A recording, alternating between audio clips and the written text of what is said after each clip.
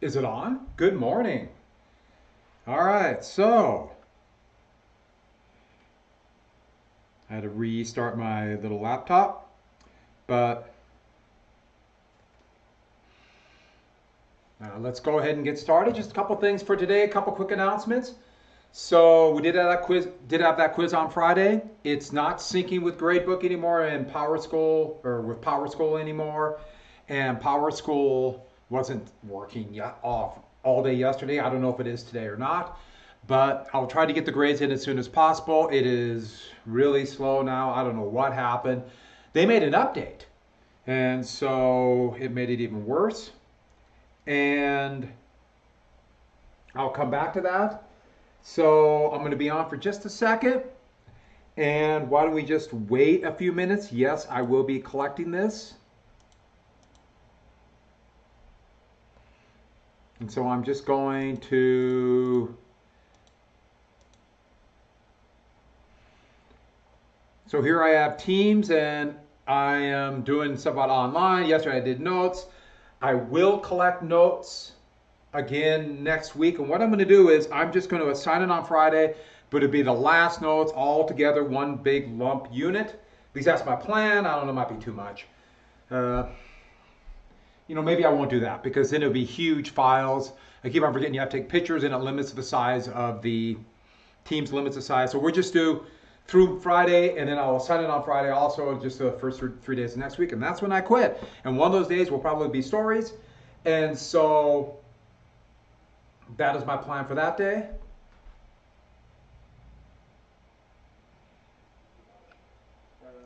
Yeah, I don't know anything about uh, Power School and that. Every day we seem to get something different. Uh, I know they're having all kinds of issues uh, with updates on Power School and various things. Uh, uh, doing that right now would be a tough job because everybody in the country seems to be having those issues. So, um, being the person running the tech right now would be a tough, tough gig. So, um, that's the first thing about uh, about grades. There will be a quiz on Friday, and same deal. I'll make it due late in that, or make it due next week or the week after. But I should remind you, every assignment I have, I allow for late work, as I've said many times and posted many times. If you miss an assignment, uh, all this stuff comes at you at once. I know this is really hard, but some people have um, anything from Spidey connections to all kinds of uh, stuff going on. I mean, this has been a difficult few months. And, you know, especially in the beginning when everything was just thrown at us and was all brand new. So I allow late work. And so if you have missed something, go back in your assignments. You can turn something in late. The big thing is you have to let me know it's late. Now, one or two days late, like um, or like the new front, uh, we did the Rage Within last week, and I made that do the worksheet for the video. I can get that pretty easily. I'm talking about stuff like a month ago or something. I will take it because I know how difficult these times are, but you have to let me know. So everything I've done, at least um, tried, you can turn in late work. So if you have to go back and turn something in, that includes uh, uh, examples of extra credit, but same deal. If you don't tell me, I will miss something. If you go back and do redo the extra credit for uh, the road to rock bottom, and you don't tell me, I will never see it. I won't go back and look that far. But if you tell me, I'll go back and I'll give you the credit. One more thing. I'm thinking about giving you one last little bit of extra credit, more than anything else, because I normally would have done it um, in the past, but we're all um, kind of discombobulated. I've allowed people to watch a movie for extra credit, and I'll give you the last week and a half to do it. So I'm thinking about doing that. And I will let you know tomorrow. I might just assign it tomorrow but that'll be the last chance for extra credit. But don't forget, I'm allowing for late work, so you have to go back. And you might have to scroll back through the posts. I know there's a lot of posts, so scroll through carefully. You might miss something, but I've not taken anything down since the beginning, uh, at least as far as I know. It's actually kind of shocking. This goes all the way back to your AP review sessions. I mean, you can go all the way back. I have not taken down, I've only taken out a couple like a little announcements that are not needed anymore, like message deleted. But here's notes World War II and here's my late work will be accepted. To remind you again, I want to make sure. Uh, Gathering Storm, I gave, I allowed for extra credit. There it is right there. And I said that very clearly as we were doing it and so on. Notes, tests, everything else. So it's all in there on the post. So please check. So let's go ahead then and get back to, to the Great Society. So yesterday talked about, oh, uh, the bonsai video. I originally was going to make that an assignment and then we just kind of ran out of time so I didn't. So I talked about it, but I never did actually do that. And I know I put that on the calendar for bonsai and bonsai is a plant. B A N Z I is the actual um, yell to charge. But for and then um, on our way, and so I did not do that. If uh, it's a great video, it's from the best. You know, the 50s video we watched The Rage Within, and I showed a bunch of clips. Um, called the, the documentary is called The 50s. is one of the best documentaries. World at War that Banzai and On Our Way from is the prototypical documentary. It's so good. And so I wasn't I wasn't going to assign that. I um, thought about making that extra credit, but I never did. If somebody did watch it and wants to turn that in, tell me, turn it in on, just send me a copy of it, and I will give you some extra credit. It's a great video. If you watch it, it is so well done. That whole series. And if you got a little bit of free time, it's only 37 episodes used to be on Netflix and then they took it off. There's all kinds of money issues. I mean, this is like the prototypical documentary. And so remind me about the movie. I'll send that out. Yeah, this is always a little touch and go. There's all, you know, I have ideas and then things don't work out on this. All right. So yesterday talked about the new frontier and that was Kennedy's program, New, the Frontier. And the big thing was the Cuban Missile Crisis and how close the, the world was to nuclear war. And I even told you about the four times in one day, October 26th, that we almost went to nuclear war. Also, a few other things that happened during that time. Um, remember, this was the time of the March on Washington for Jobs and Freedom. And Kennedy tried everything, begged, begged Martin Luther King and other people not to do that march because he thought it would put him in a bad light. And they said, no, we're going to push you. And by the way, that's how change happens. You have to push people. If you, if you allow the comfortable to remain comfortable, they're not going to change. And so they had to push and talked about sit-ins, freedom riders, Birmingham, George Wallace, uh, and then Vietnam and the assassination of Diem and how the Viet Cong was winning. And then Lee Harvey Oswald shot President Kennedy in Dallas, Texas on November 22nd, 1963. At least that's the way it looked. And then the whole thing about the Warren Commission because of the assassination of Oswald by a strip club owner named Jack Ruby, who would die in uh, from pancreatic cancer in prison seven, six years after that. Um, always claiming he acted alone. So, with that, let's get to the Great Society and that's Lyndon Johnson's program. Lyndon Johnson, this Texan, rough-hewn, ridiculed because he was not from this Ivy League college, and so many people, especially in Kennedy's administration, were these Ivy Leaguers.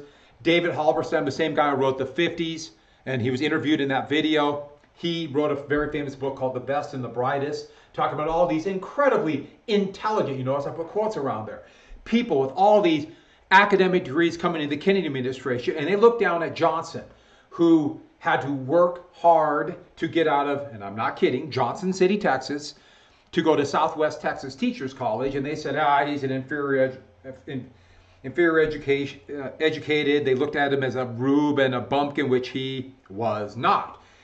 And a couple things about that. Johnson would turn out to be significantly smarter than virtually all of them much more adept politically than any president in American history.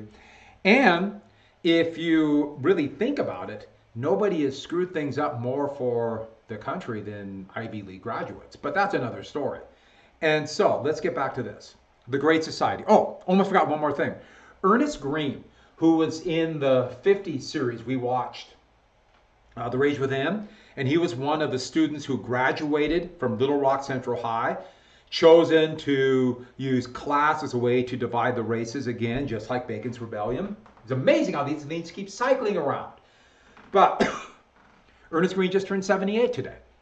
And he was interviewed in that video. Pretty, uh, pretty interesting guy. And that's great that uh, I just happened to catch that. He's 78. Oh, I should almost add that the test ban treaty and hotline came out of the Cuban Missile Crisis. Khrushchev would be ousted, and that led to Leonid Brezhnev and the Soviet Union vowing to never be humiliated again because of the embarrassment of backing out of that. And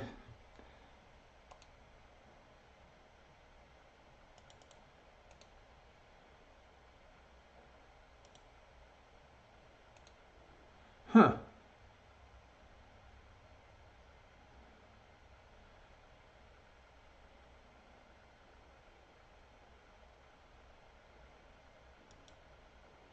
Just a sec.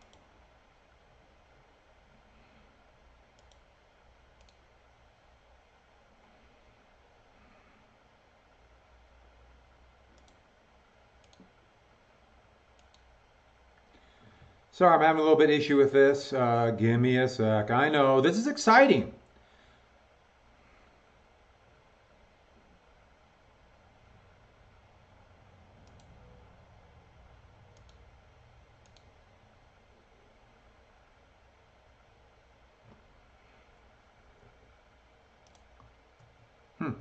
Okay, so back to this. So, so you get my little taskbar tree on the bottom. I don't know how to get rid of that right now, and I got to quit. I don't know what happened, why it's there.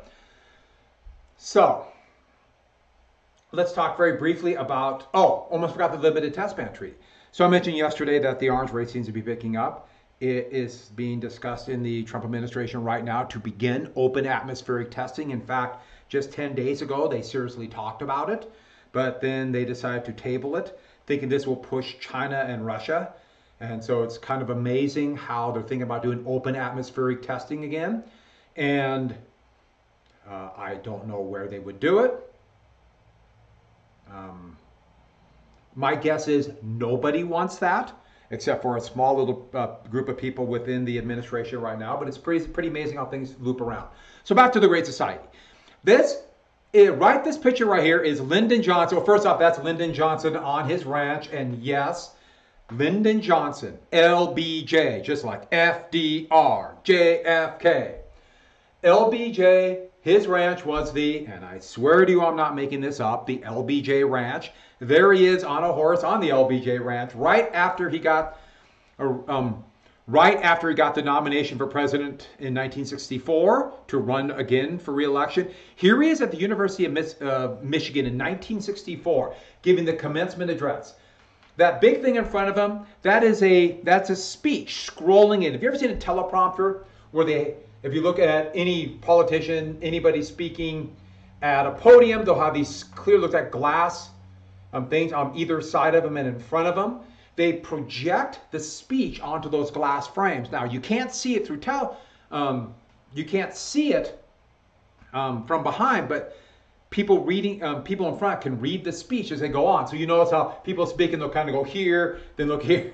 they're, they're looking at the teleprompter.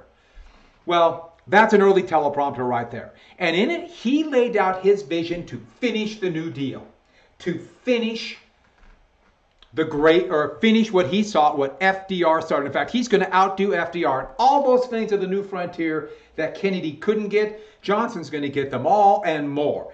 There has been nobody like uh, Lyndon Johnson on getting bills passed. Nobody. He used the great sympathy uh, um, in the country for him after he took office after the horrible murder of President Kennedy and used that to get bills passed, with the idea being, I will use it. He had immense political skill. And it was a three pronged, three pronged plan. And I want to be very clear about it. He started it, got a lot of bills passed. It did not, or he did not finish. It was partial. It was partial. And I'll explain why in a second. So, first off, civil rights. And there's going to be a few elements of the Civil Rights Act, and I'll come back to these. I'm telling you about it now. But it's not like he went there and said, we will pass civil rights, and then we'll pass this, and then we'll pass this. Not only did he have to fight for these laws individually, But you have this little thing called the Civil War in Vietnam going on, the Cold War, the actual civil rights movement that's happening right in front of them. These were all these massive events. Nothing happens in a vacuum. So the first major law, and one of the most important laws in American history, the Civil Rights Act of 1964. The first major Civil Rights Act passed that had any teeth to enforcement since 1873. And okay, there was a Civil Rights Act in, six, in 57, but that had no power to enforce. And it said no discrimination based upon race, ethnicity, religion, or sex. And you notice that last part, sex. And conservative Republicans, if, um, mostly from the West, and the few, there's only a couple Republicans in the South at this time, and conservative Democrats put that into the bill as a poison pill. A poison pill in this context means an element of a bill that will kill the bill. They figured that nobody in Congress would vote for a bill that would say no discrimination based upon sex, meaning um, there can be no discrimination of women. This is what the whole thing was about, and implying that women have equal rights to men. Not quite, it's more complex than that, but that's what it meant. But liberal Democrats and Lyndon Johnson passed it, especially pushed by Hubert Humphrey, senator from Minneapolis, a tireless fighter for equal rights, and the Senate Majority Leader who took over from Lyndon Johnson, Mike Mansfield of Montana. Montana back then had two of the most prominent uh, senators in the United States economically very liberal. Montana was a, a, a, much more liberal state back then, very union state. Um, work um, passed a lot of laws for working people, and Mike Mansfield and Lee Metcalf were two of the most prominent senators in American history. During this era, most of the wilderness acts and areas designated as wilderness areas would come about in the 1960s, part of the Great Society, and Lee Metcalf would push that, and that's why some of the biggest wilderness areas in Montana are named after Metcalf. But back to this. So this was passed. And here's Martin Luther King getting a pin from Lyndon Johnson. They would sign parts of the bill and give pins away. It's a very common thing. And so weird seeing people shake hands and being around each other. I wonder why today. A Massey bill. This got rid of most Jim Crow laws. There were issues about private clubs and private facilities, um, and those weren't ever really addressed completely um, to this day. But for the most part, Jim Crow died here. And that meant that everybody, technically, under the protection of the federal government, can participate in the day to day activities of commerce. And that was why Jim Crow was such a big deal. Um, one of the defenses of Jim Crow laws are people who would say, Well, I own the business. Shouldn't I allow, um, have the right to choose who I serve? you know, no, no shirts, no shoes, or service. Why couldn't I? If I don't want to serve one person, why do I have to serve them? And there's an element of that that fits in with private industry. If someone's causing trouble, you don't have to serve them. But if you exclude somebody based upon no action they did, but of who they are, aka the color of their skin, if you exclude them, that means you're telling everybody that a certain group in society cannot participate in the day to day activities of the United States economy, of commerce. That means, by definition, you are saying a certain group of people are at a lower state. So it's more than just simply saying, well, I'm not going to serve you in my restaurant, I'm not going to cut your hair or make you a cake. What it means is, is that those people have, by no action of theirs, are not allowed to prosper. And so you are committing them to a permanent second class status. So, big law, the Civil Rights Act. Next, the Voting Rights Act of 1965.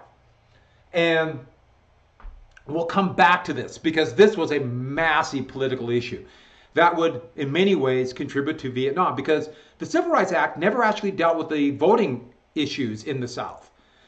And what it said is this it got rid of the literacy test completely. Now, literacy test was basically technically banned in 1819 as part of the grandfather's clause, but the literacy test remained for all voters if you um, had to take this literacy test, and it was specifically designed not to pass. It also completely ended the grandfather's clause. And lastly, the Immigration Act of 1965. That got rid of the National Origins Act um, of 1924, opening up more immigration from places outside of this tiny little area of Western and Northern Europe. And so you're going to get a lot more immigrants, especially immigrants from Latin and South America, who the United States had been bringing in since the 1930s as almost slave laborers, as indentured servants. And this would change that to allow for more immigration. But as the economy changed in Latin America, especially because of U.S. economic domination, especially with something called NAFTA, you're going to see a lot of people coming in undocumented. There would also be a Fair Housing Act in 1968 that would somewhat redress. Um, I thought I put that in there. Fair Housing Act of 1968. Just imagine I put that in there. I'm going to type it in right now because I do not want to forget. I, I really thought I put that in there. It did not do as much. Huh. Well, I'm not going to put it in there. All right, another technical issue. That is so weird. Things just happen weird. So the Fair Housing Act would say at least somewhat limit the discrimination based upon race that happened in housing, which was endemic in housing. This is a massive issue. And Johnson did everything he could to get this passed earlier. It was not as big as they would have liked. Um, the, our current president was actually um, convicted twice and paid million dollar fines because of violation of the Fair Housing Act by not allowing African Americans into his apartments. And so once again, well, he's been around a long time. That gets back to our current president. So with that, why aren't you working? There we go. So here we are, back to this. Part B, a war on poverty. And the poverty rate was still well over 20% beside, despite having a massive economic expansion and the Great Compression. And so Johnson was going to start a little bit what Kennedy started, but then to end the scourge of poverty with long lasting goals. But he never quite finished these. All of these laws, also called the safety net, were were not complete. Not as complete as it could be. He thought he could pass the laws and improve them later. This little thing about Vietnam was getting away. So, first off, part of the old, uh, of the second Agricultural Adjustment Act were called food stamps. So they expanded food stamps. Now it's also sometimes called SNAP or um, supplemental, supplemental, supplemental nu nutrition assistance program. And these are to help people below a certain income level. It's tiny about a thousand, a little over a thousand dollars a year per person. But still, a little bit of help for people. Originally designed to help keep farm prices up. Now it is more of a program to help those in need. Uh, Education Act, the first public aid, government aid for education. The vast majority of, gov- of money for education still comes from local governments, and that's why there's such huge differences. Because richer areas, um, since they fund most of schools, have just they put more money in the schools than poor areas but at least a little bit of federal government aid. This is also where you get things like uh, Pell Grants and student loans. Johnson wanted free tuition too, and tuition was so low, this was going to be a band aid to they get that, but never happened. So actually, it, he wanted it, uh, thought they would get it, never happened. Head Start was going to be daycare for people below a certain income level, so it would be means tested there's flaws with mean testing, that's another story. Medicare would be health care for the elderly, so health insurance for the elderly, which is by far the most expensive. And Medicare, along with Social Security, has um, pulled many people out of poverty. By the way, um, the current president and conservative Republicans have always tried to cut Medicare, but it's still very popular. Medicaid is health care for the for poor, but every state has a different program. So Montana the state pays and the federal government pays. So it's a really much more of a hodgepodge, which is another compromise bill they thought they would fix later. And that just gives you an example of how just incredibly complex U.S. healthcare system. There's also aid to families with dependent children, which actually came out of the New Deal. And this was what people called welfare. So it'd be uh, a little bit of income, money, direct money to people. So income supplement um, for people under the poverty line. Under President Clinton, they got rid of this, and now we have we have virtually no direct aid for people. And that's one of the reasons why this uh, pandemic has been such an economic catastrophe for people. We have virtually no direct aid. And so if they don't have a job, uh, it's hard to get health care. Um, you have to go through this elaborate process to apply for Medicaid, for food stamps. It's a big issue. But the big thing about the war on poverty, there'll be over a thousand laws passed, some good, some not. I just gave you examples of some. But the big thing was the poverty rate was cut by uh, almost 70% by the end of the decade. It worked better than anyone thought. But I should add, this goes completely against conservative economics. And conservative presidents, and we've had basically economically conservative presidents since Nixon. We've had Nixon, Ford, uh, Carter was pretty conservative, a little more liberal um, than Reagan was very conservative. George H.W. Bush was very conservative. Clinton was pretty conservative. Uh, Bush was conservative. Obama economically was conservative, and probably the most conservative president since Coolidge and, Har- and Hoover. Trump. They've cut these programs, and poverty now is is edging up to where it was before the war on poverty. And this goes against conservative economics, and they'll try to undermine this. This is why conservatives, if you're a true conservative, you don't like things like Social Security or Medicare, Medicare, because this raises wages. By making people more secure with things like economic support and knowing they have some kind of backstop in bad times, they will demand higher wages. So that's the war on poverty. Here's Johnson in West Virginia, known for its high poverty rate. There's the announcement of Head Start right there is Lyndon Johnson's wife. Yes, her name was Lady Bird Johnson. Lyndon Baines Johnson, LBJ, LBJ. His daughters were Lynda Bird Johnson and Luci Baines Johnson. So, next cultural growth. He wanted to expand and make the United States into something more than just simply or um, he wanted to expand more than just simply selling goods to the lowest common denominator. One of the problems with art and media, if it's purely for profit, they will try to market it to the lowest common denominator to sell as much as possible. If you don't believe me, watch television, watch most shows. Heck, watch Netflix. Netflix. It's pretty pretty amazing. Uh, so I, I do get Netflix. And when they first started making their own shows, some are really good. It's actually kind of shocking to me. I'm not saying they're like, okay, let me rephrase that. They were good. and now they're all the same because now they're just, okay, this is what people like. Let's just throw out as many of these things as possible. And the quality drops because they try to sell as much as possible. The reason why they want to profit.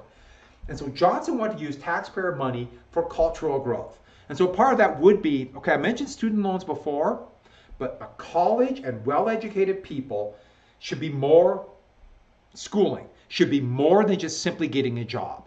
It is to become a good citizen and it is to become a thinking citizen. And that is why they want to promote college. Next, also promote the arts. For example, a couple, uh, few things that will come out of this. Um, public television would originally be a pretty highly funded uh, program for uh, government aid for a network that could do more than just simply marketing shows to sell as much advertising as possible.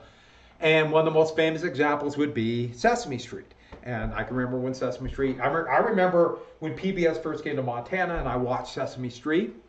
A lot of you probably watched it, but other shows like this that were marketed.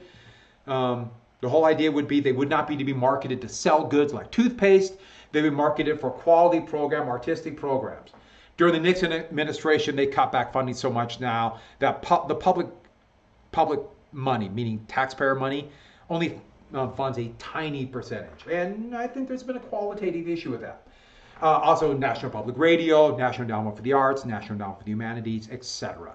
So I want to put it this way Johnson had huge goals, and he was able to get this passed with what everybody called the Johnson treatment.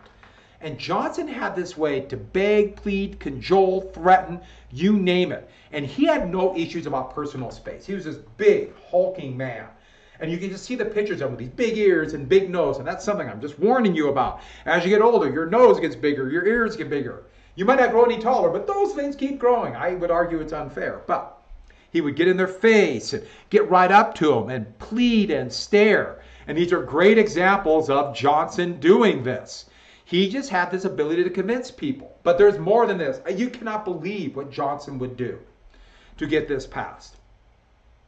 And he would be earthy, he would make crude jokes, he would swear, sometimes a southern, he would become um, his southern accent would come out even more than ever before. I mean, Johnson was a pretty interesting guy, but here he is uh, howling with his dog in the Oval Office. And every little kid who would come into the White House, Johnson would give them a bushel basket full of beagles, which a lot of people were really surprised by this. A whole bushel. I'm joking. No, they just happen to be a kid looking at um, these beagles. And that is one of his two beagles. Johnson's Beagles, he named them, and I swear to you, I'm not making this up. Anybody want to guess? Any guesses? See, I'm, I'm talking to no one. I got a wall and then a camera. But Little Beagle Johnson 1, Little Beagle Johnson 2. Those were his beagles. Yes, he would be uh, accused of animal cruelty when he held up his beagle like this and he thought it must be some communist plot to get him and claimed that beagles like to be held like that. Moving on. So in 1964, Johnson wanted to win election, to win this election on his own merit. He had to get out of the shadow of Kennedy because a lot of people saw him as an accidental president, even though his popularity was shockingly high. But he also knew a part of the reason it was high is because he was Kennedy's vice president. And so he wanted to win a smashing victory with his great society. And so here is Johnson with his running mate. He picked Hubert Horatio Humphrey, the guy who was so instrumental in pushing through the Civil Rights Act of Minnesota. And Humphrey, I do have mixed feelings about him, but um, um, some things he would do um, a little bit later on. I think for the most part a very good man. Here is Humphrey and Johnson. By the way, Humphrey would, would always be opposed to the Vietnam War but couldn't say anything because he was Johnson's vice president. I love scientists, engineers, and physicians for Johnson Humphrey. And what was their program? Their program was the Great Society. The Great Society will make this country better, and we're winning the Cold War. You have nothing to fear. A conservative insurgency had been growing in the Republican Party for years. Anger over electing or nominating so called liberal Republicans like Dewey, Eisenhower, and even Nixon, who was not that, who was pretty conservative. And this insurgency, um, through organization and planning, did something pretty amazing. They won the nomination in 1964 Sorry, I'm having a little bit issue. Okay, here we go. And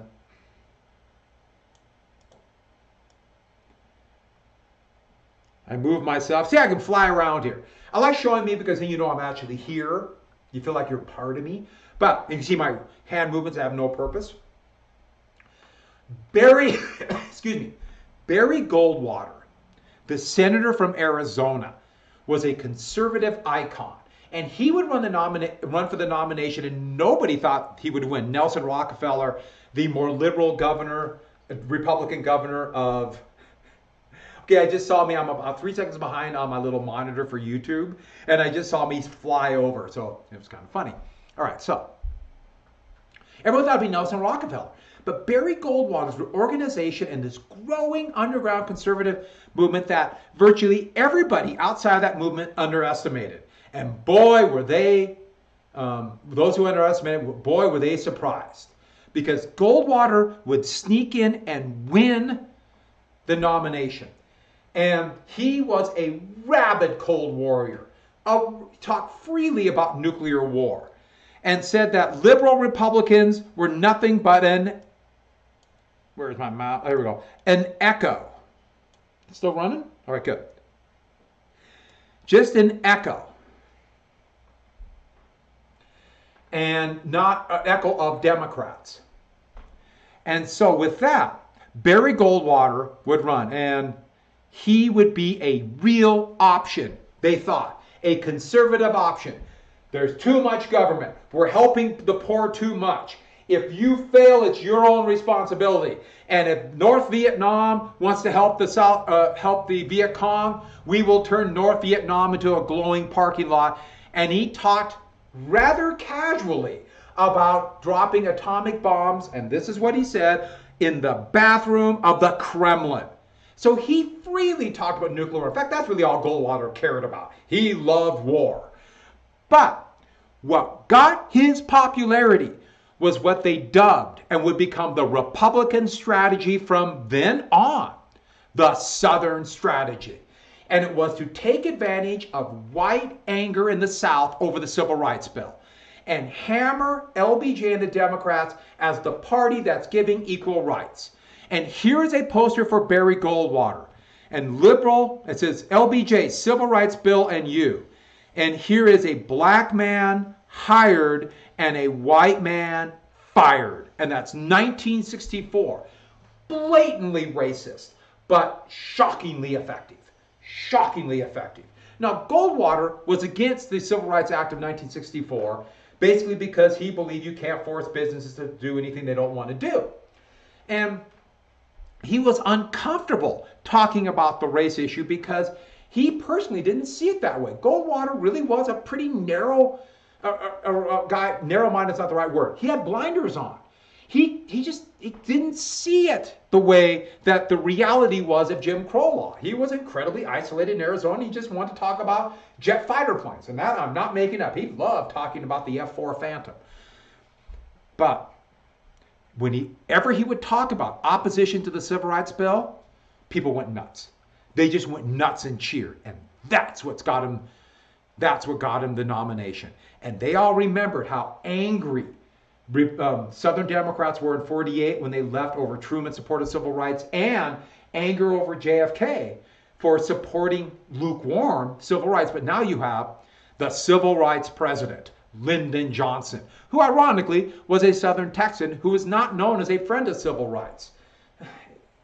Times complex. By the way, Goldwater, yep, AuH2O, little chemistry for you. So, oh, I'm anti-civil rights, anti-commie.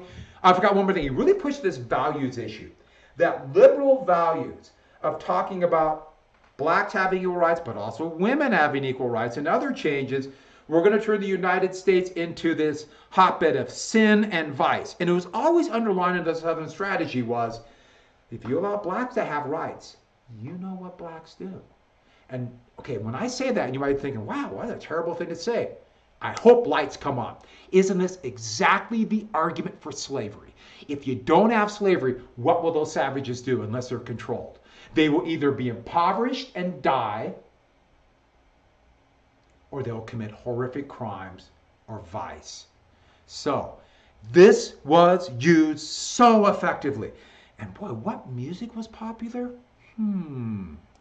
So, this is the beginning of what we'll call the culture war. Now, the culture war was already rumbling, but the culture war of conservative values, of true American values, knowing that this will appeal to people who economically might be benefited by Johnson's programs, but fearful of value issues, of music and the generation gap turning teenagers into drug addicts and sex fiends or blacks getting equal rights and disrupting society, or women demanding equal rights.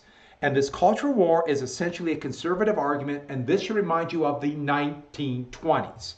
And so, they were, and I put this in italics, his economic program was essentially anti New Deal, anti union.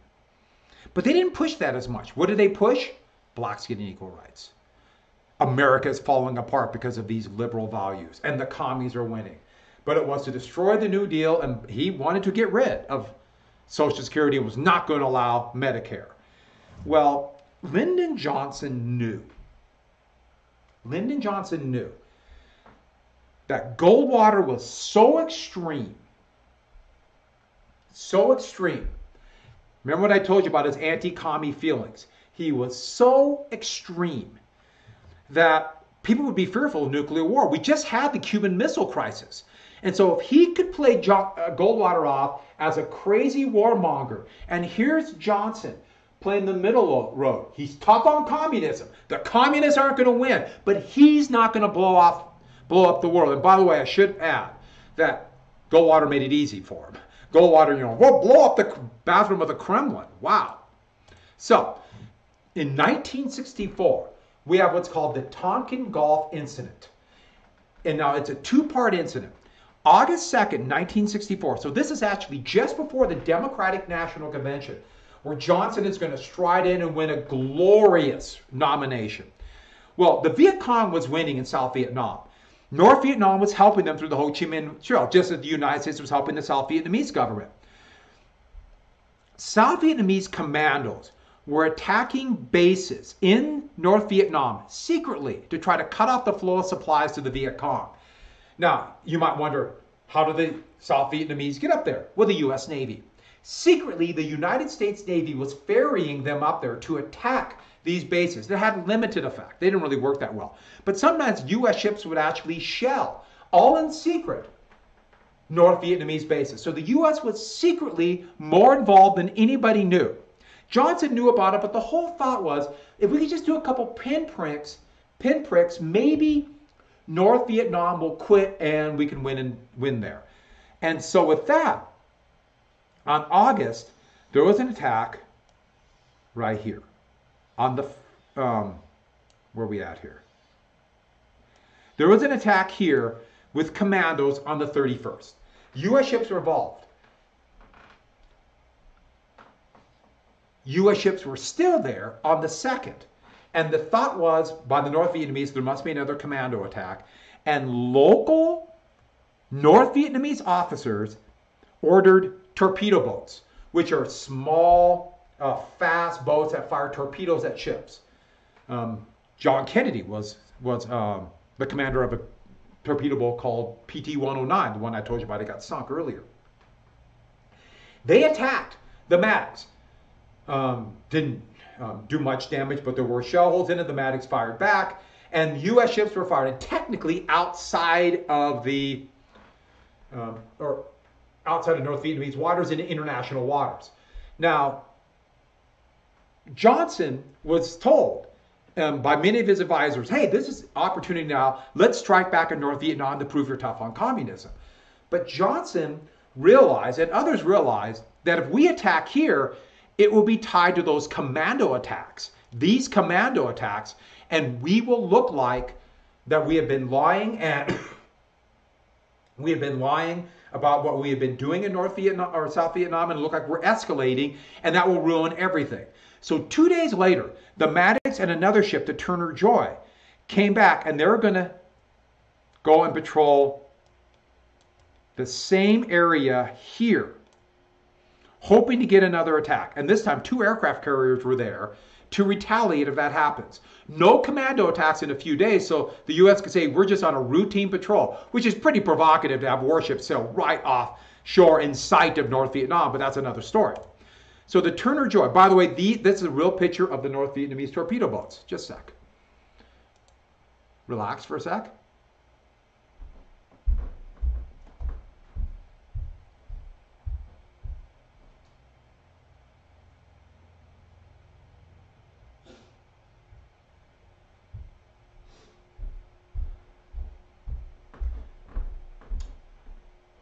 Thought I saw a bird on our bird feeder.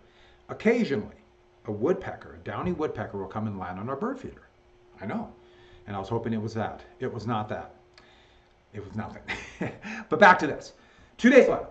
So these two ships went, and immediately both the Turner Joy and the Maddox reported that there were torpedoes boats attacking them. There are torpedoes in the water.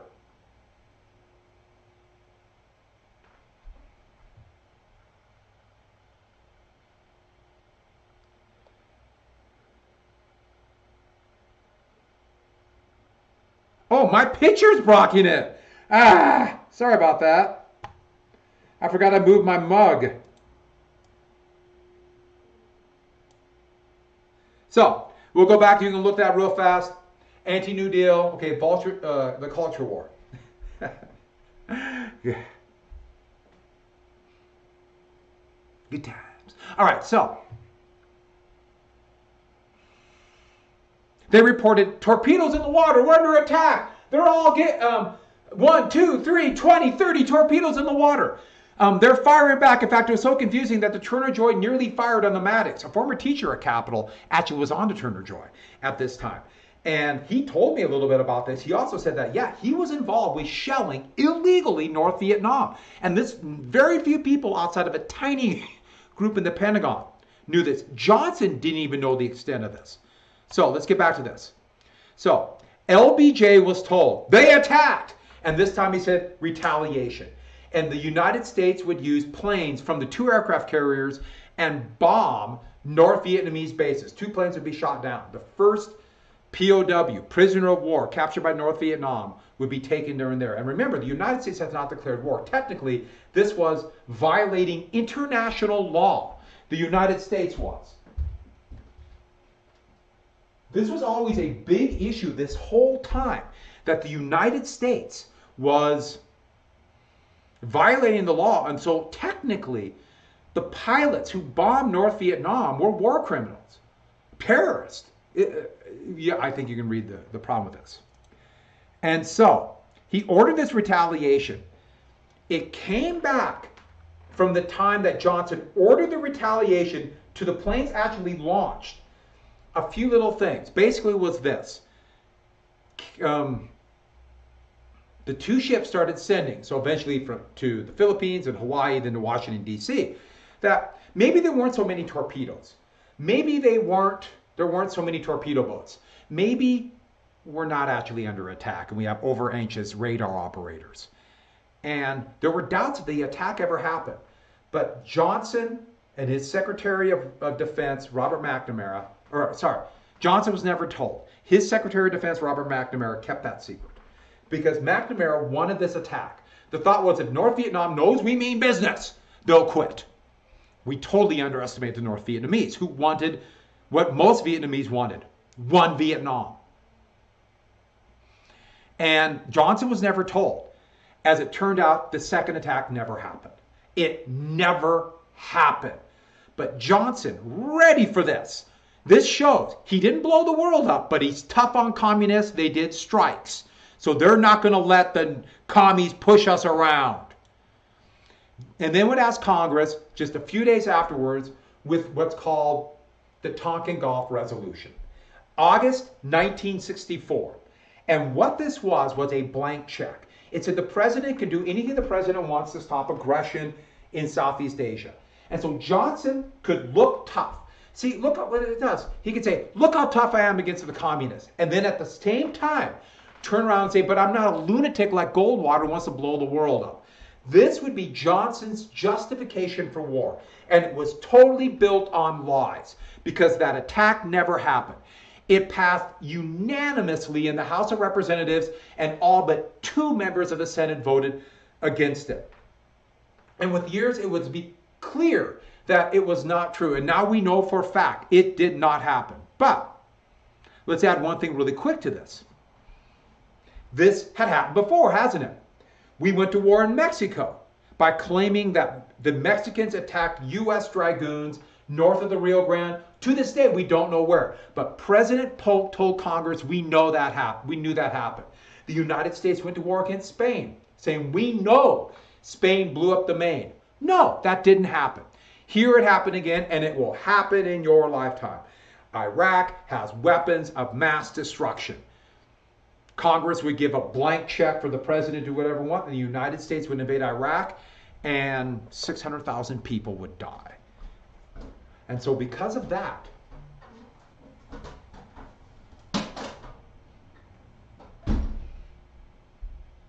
that is where we get, um, well, you could see the beginnings of the distrust of government. Why did Johnson do this? Because he wanted to be reelected to get Vietnam or to get the Great Society passed. And then Johnson could play the peacemaker. And in it, he is going to run, arguably, one of the most successful commercials in American history. Let me make sure I have sound here. So, I know you want to see this commercial. So, the most successful commercial in American history. What is this? Why is this here? Here we go. No way! Ike for president, Ike for president, Ike for president, Ike for president. I didn't know this was here. Everybody likes Ike for president. Hang out the banner, beat the drum. Oh. We'll take Ike do what You're welcome. We don't You are so welcome. Or Harry, let's do that big job right. Let's get All right. So all the way with LBJ, he can play the moderate. The most famous political ad in history. What happened? It's called the Daisy ad. And what the Daisy ad was this. It only played once. The most popular show on television at that time was NBC, the Sunday night movie of the week. So they played feature length motion pictures that people couldn't see if it was out of the theater. And so this was the most watched. They showed it once, but then they knew that television broadcasts would hit. Well, so uh, Goldwater's ads were basically anti-civil rights and oh no, young kids are going to destroy the world. There's a lot. This has been a common theme. Kids are out of control. You millennials, you know that kind of thing. But anyways, I don't know what you are. I'm just making stuff up. People talked about this ad because it played on everybody's fear. And it's subtle. I think you will understand why it was such a, a powerful ad. Where's my mouse?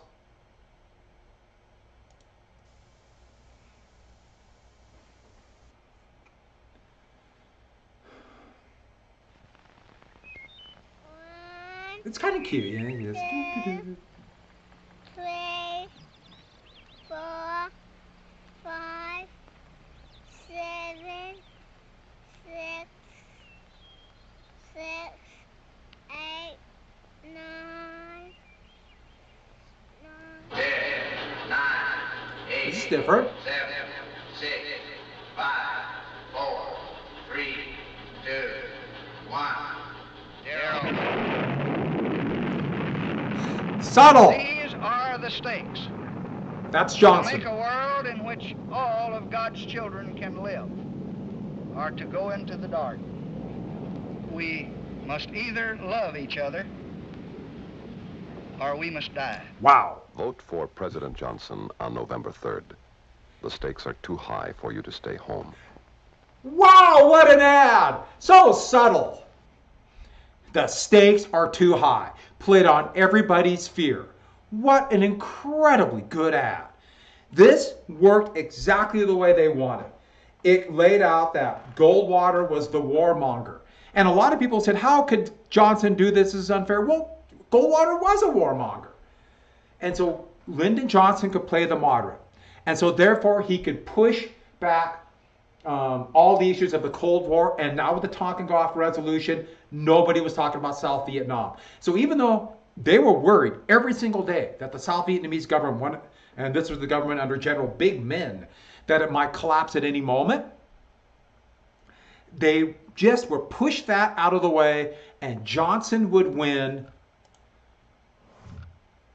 the biggest landslide in history. The biggest popular vote uh, victory in American history, beating by a little tiny, a tiny bit uh, FDR 36. And look at the states, overwhelming for Johnson. Now, Arizona, that's where Barry Goldwater was from. But do you see the Southern strategy? There was no, basically no Republican Party in these states. And yet Goldwater won them because of civil rights. And you're going to see the beginnings of the Southern strategy. And the next Republican nominee, Richard Nixon, will masterfully use that. And the Republican Party will become the party against equal rights. And how would they proclaim it? They should remind you. Uh, the term is states' rights. Isn't that familiar? Isn't that exactly the term that would be used for 1948 for the States Rights Party and the Dixiecrats, and oh, also to defense of slavery in the, in the 1850s? It's the irony of the party of Lincoln would become this, but party shift. The Democrats were all over the place in the 1850s, but more more pro-slavery, and then they would become the party of civil rights. And African American voters were about 65% voting Democratic after FDR, would go over 90% to this day, voting Democratic. And so Lyndon Johnson is president. And while this is happening, South Vietnam was literally falling apart. Literally falling apart. Like I said, they were able to tamp it down. But then things exploded in 1965. In fact, right after the inauguration, there was a vicious Viet Cong attack on an air base in Pleiku, where the Americans had been using this base in South Vietnam uh, for medium bombers and transport planes to attack the Viet Cong. Here is Undersecretary of Defense McGeorge Bundy. Yes, his name was McGeorge. With the head of um, U.S. Assistant Command General Westmoreland. And uh, 30 Americans were killed in this attack, over 100 wounded. This brutal attack, and it showed that the Viet Cong were actually winning, and South Vietnamese government was just barely holding on. And it's coming to a time that if the U.S. wants South Vietnam to survive, it's going to have to send in troops, or there will be one Vietnam. And Johnson, who kept Vietnam out of people's minds all through the election, especially after Tonkin Gulf, Johnson would make the very famous statement that he didn't want people to talk about Vietnam. Vietnam is something you want to hide. And he said, "Hey, if your mother if your mother-in-law has uh, one eyeball and it's the middle of your fore, uh, middle of her forehead, you don't keep her in the living room." Okay, I'll let you ponder what that means, but basically what it means is you hide her, just like you hide Vietnam. And so, with that, ironically, at the same time, nothing happens in a vacuum. the Civil Rights Act never dealt with voting. And people want to vote. They wanted the right to vote, which actually came up in a big deal in 1964. And so the first Selma to Montgomery March for voting rights began. And they were brutally attacked by the, by the Alabama State Police and armed thugs. Brutally attacked. And there's King and Walter Aber- Abernathy marching right there. And this is actually the second march. And they're, why did they do this? To push LBJ to act. LBJ is like, I just got the Civil Rights Act. Give me a year. And they said, no. Just like the March on Washington. You promised, and now you have to deliver. And once again, that's how change happens. So you have Vietnam voting rights. And Johnson, who wants voting rights, but he also knows if he looks soft on communism, he can't get voting rights. Blowing up at the same time. Fateful decisions will be made that will forever change the world. And poor Vietnam. And here are counter protesters. And by the way, do you see it? The Confederate battle flag is going to come out all over. And what did the Confederate battle flag mean? It wasn't some um, garbage about history or even the lost cause myth. That's garbage. It was anti civil rights. Everybody knew that those who hold this flag are making a statement. They're making a political statement that I'm opposed to Americans, all Americans having equal rights. And there might be lots of reasons why they do it, and part of it could be ignorance, but that's what it means. And on that happy note, let's quit. So, I will finish this up uh, tomorrow. I am fascinated by this. This is, it, it's one of my, it's it's really difficult. You know, the, the era before the Civil War just amazes me. You know, the Great Depression, World War II, oh, incredible eras. But the '60s, wow, what a time. Maybe because I'm a, I was alive in the '60s, but that's another story. And don't forget makeup, all that kind of stuff. You can do it. I um, yeah. Uh, August asked about Banzai and on our way. And so, yes, I will. It's on my webpage. If you fill out that worksheet and give it to me, I'll give you extra credit. What the heck? And there are other examples of late work, and there's extra credit in there. And so you can do that. I've assigned that in the past. One thing about extra credit, I'm not going to go back and, and hand feed you, but I will take it. And then I will, uh, I think I might give you that movie. If enough people go and ask me, yeah, I would like to do a movie for extra credit, I'll do it. All right, then on that note, uh, where are we at here? All right, if there's no more questions, I would like you to have a great day. It's beautiful outside. Oh, the wind's picking up, of course. All right. So I will talk to you later.